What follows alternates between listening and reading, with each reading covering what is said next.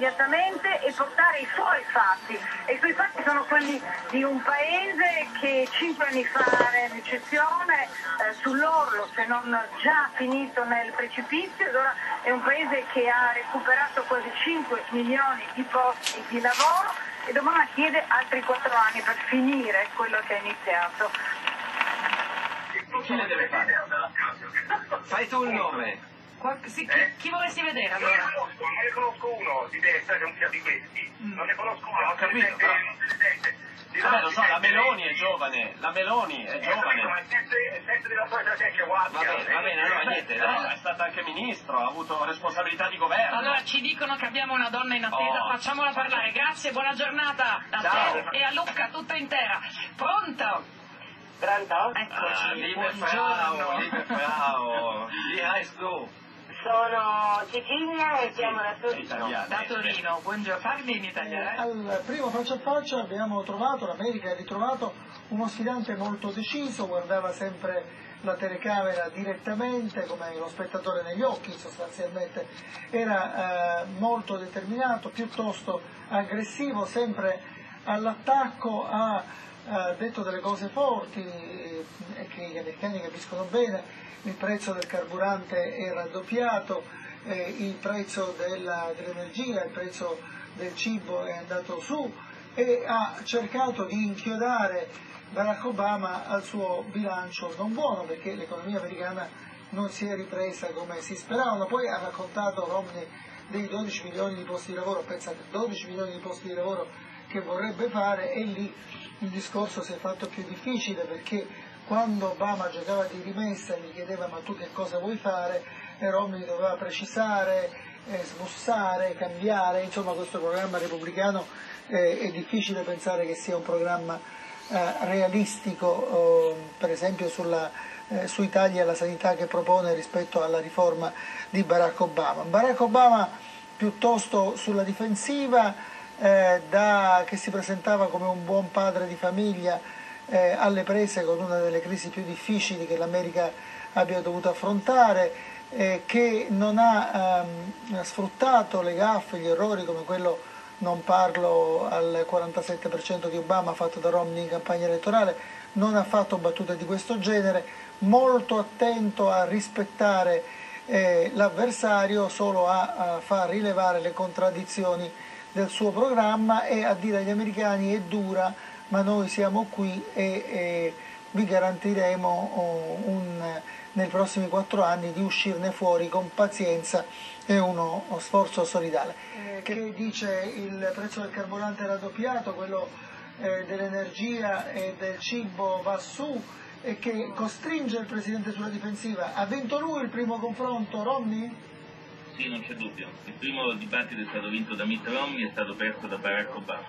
Per 90 minuti Romney è andato all'attacco con determinazione, motivazione, in maniera aggressiva, rovesciando accuse e numeri sul Presidente e che in realtà è apparso remissivo, molto spesso non ha risposto eh, alle accuse che gli sono state sollevate, ai numeri che, che Romney ha avanzato, cioè Romney gli ha detto hai tolto con la riforma della sanità 760 milioni di dollari al Medicare, al- all'assistenza per gli anziani, e tu rimproveri alle compagnie energetiche sgravi fiscali per 2,8 milioni di dollari annui, ma in realtà ne garantisci ne- eh, 90 milioni ai tuoi amici della- dell'industria verde eh, rinnovabile. Cioè Romney è ancora, gli ha detto tu, pensi di ehm, tagliare, di risolvere il deficit aumentando le tasse come fanno in Spagna, ma da noi non funziona. Cioè in continuazione lo ha incalzato e eh, Obama non ha mai risposto a questi affondi. Invece, invece di rispondere a Romney, Obama parlava con il moderatore e esponeva sicuramente i concetti positivi della sua campagna, il nuovo patriottismo economico, il sollevare la, la- la classe, la classe media e gli aiuti ai giovani per le borse di studio, ma insomma questi messaggi positivi in realtà stridevano eh, con l'aggressività del- dello sfidante. E da lì eh, la sorpresa anche in sala stampa, cioè qui io sono stato circondato da, da cronisti americani dicevano Obama got crushed, cioè è stato travolto. E in particolare molti liberal contestano nelle reazioni a caldo a Obama di non aver usato le munizioni che la sua campagna gli aveva dato. Ad esempio lui non ha mai parlato di paying capital, che è invece il principale, il principale strumento di accusa della campagna democratica nei confronti di Romney per schiacciarlo sul capitalismo selvaggio, non ne ha mai parlato come non ha mai parlato della gap di Obama sul 47%, quella recente del video dove parlava del 47% degli americani vittime. Insomma, è stato un Obama insolito, eh, sulla difensiva, quasi irriconoscibile e da lì non c'è da sorprendersi se nei primi sondaggi fatti dalla CNN il 67% degli americani dice che ha vinto Romney e il 33% Obama. Insomma, Romney doveva vincere il dibattito per riaprire la campagna elettorale e ci è riuscito. Grazie.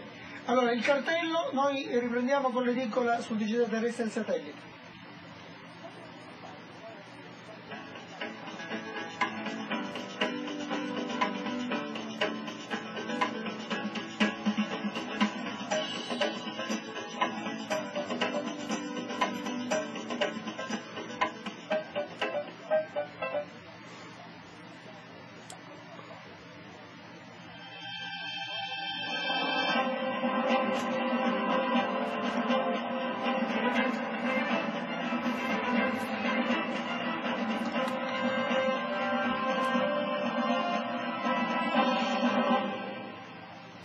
Le 6.59 di giovedì 4 ottobre, a tutti un ben risvegliati, un ben ritrovati a Buongiorno Regione, un buongiorno a Ettore De Lorenzo. E buongiorno anche a te Stefania, dal San Raffaele alla Regione Lazio.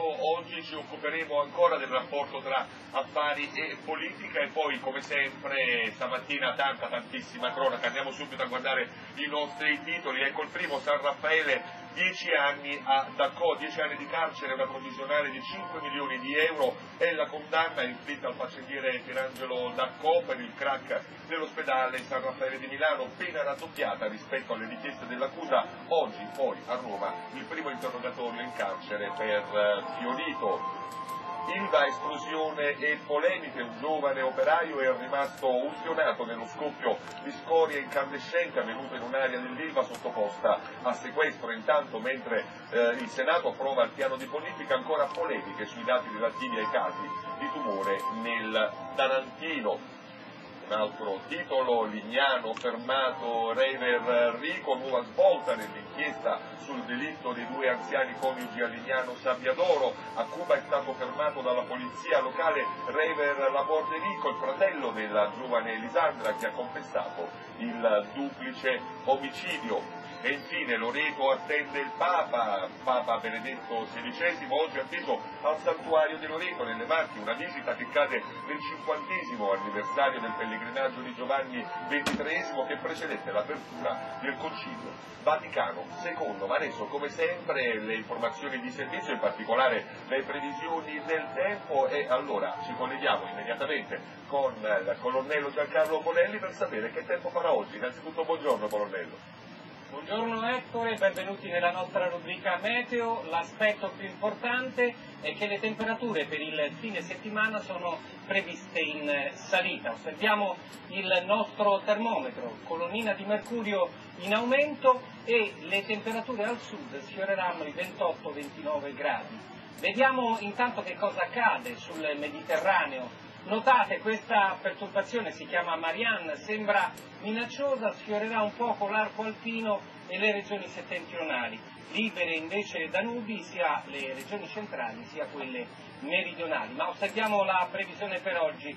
In arrivo quest'area nuvolosa sull'arco alpino recherà qualche pioggia, soprattutto sui rivieri eh, lombardi. Nel corso del pomeriggio aumenterà poi la nuvolosità, osservate, su tutta la pianura padana qualche pioggia, qualche piovigine sull'arco ligure, dove soffierà peraltro sul Mar Ligure il Ribeccio, e, e, anche sul Piemonte. Addensamenti più consistenti verso la Venezia Giulia e il Friuli, con possibilità di qualche leggera pioggia. Relativamente alle regioni centrali, delle nebbie e delle frosche al mattino l'abbiamo indicato, ma il sole sarà primo attore della giornata. Il maestrale si attenuerà, sarà poco mosso il Tirreno un po' di scirocco lungo le coste delle Marche, dell'Abruzzo e del Molise. Al sud splenderà il sole, vedremo tra poco le temperature, cielo sereno, qualche addensamento ancora verso la Mezzia Terme. Cosenza, ma ancora il maestrale. Qui processo a Sanitopoli sono stati rinviati a giudizio l'ex assessore Ferrero e il suo braccio destro accusati di abuso e turbativa d'asta, con loro anche un sindaco e un commissario eh, dell'ASL. C'è stato un altro arresto shock eh, ieri a Chiavari, l'amministratore delegato di Tributi Italia, quella che doveva essere l'alternativa Equitalia, eh, riscuoteva eh, l'ICI per i comuni ma poi si intascava i soldi e nello stesso tempo licenziava ad un- uno ad uno i mille dipendenti. Ci sono stati altri quattro arresti, ma sentiamo i dettagli con Andrea Marotta. Sì, intanto la novità, buongiorno, è che domani pomeriggio è previsto l'interrogatorio di garanzia per Giuseppe Saggese, l'amministratore di eh, Tributi Italia che è stato arrestato martedì su disposizione della Procura eh, di Chiavari in un'indagine che riguarda in tutto nove persone. Eh, per la gravità dei reati ipotizzati, che sono peculato e bancarotta per distrazione, la competenza dell'inchiesta potrebbe poi passare a Roma. Sono circa 400 infatti in tutta Italia i comuni in cui la società fondata da Saggese riscuoteva tributi, 14 le inchieste aperte da altrettante procure su input delle amministrazioni che dal 2008 non si vedevano più versare il denaro giusto. Una parabola vertiginosa per l'imprenditore di Recco, d'assalto, eh, capace di creare un impero con 1200 dipendenti e farlo naufragare dirottando i soldi su altre società e su fondi esteri. La maggior parte dei lavoratori hanno perso il proprio posto, 400 sono in cassa integrazione fino a dicembre, nella sede di Chiavari ne sono rimasti in 15. A Saggese gli inquirenti hanno sequestrato beni per 9 milioni di euro, in tutto ritengono ne abbia eh, sottratto, distratto almeno 20, eh, ma sospettano un buco complessivo da circa 500. Da Genova è tutto.